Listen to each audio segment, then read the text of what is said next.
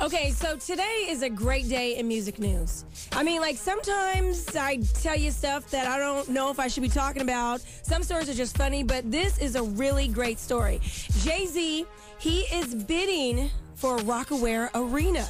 Now, that's where the New Jersey Nets they now play. He wants to have his namesake on the building. So if you pay for it, that's how it works, right? Exactly. So apparently there's stiff competition right now, but he is currently in talks with the New Jersey Sports and Exposition Authority over the naming rights. And if he gets it, it looks like he could be expected to pay more than $600,000 a year for the naming rights. Now, is that going to be the new stadium in Brooklyn, or is that the existing stadium The in New existing Jersey? stadium and which is in currently the Continental um, Airlines Arena. Exactly. All right. Yeah. See, I know my sports, baby. It should be announced as early as October 4th. So if it happens, they'll be going to Rocawear Arena. That's hot. That's hot. Yeah, that That's is. hot, big. right? And now secretly Diddy somewhere going, man, I need the Sean John Arena.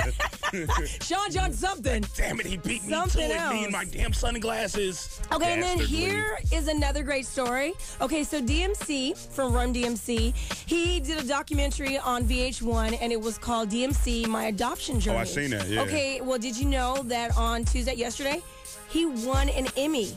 For yes, for the documentary. And then what he says was he goes, This wasn't even a thought. It was totally unexpected, but he's excited. He said it touched people's lives and also helped a multitude of people. It's confirmation of purpose and destiny, not only for me, but all those who viewed it. And the other people in the category was like ah. Tom Brokaw, like other people. He's sitting there, you know, and all these people news come up to congratulate That's him. good, man. So if you didn't get a chance to see it, it's actually going to re-air on Saturday, 10 p.m. Eastern time on VH1, so 7 p.m. our You should have time. did in the DMC voice, though. No. Oh, okay. Mm, Not at all. You didn't want to do it in the DMC Uh-uh. voice? So that is all the juice that I have. If you'd like to email No, me, Perez, you I can. you did a really good job. You know, Perez. And I also didn't tell you to do it in that voice either. You don't want me to do the DMC? No, what is Come on, that? it's the DMC. Because it's kind of like you're making fun of him. This is a great thing right now. so it's not really appropriate to be making fun right Come now. on. All right, and then also the video, DJ Cena's doing a great job right now. He's like all up in it, like the MTV style. So you can check it out on kube93.com. No money.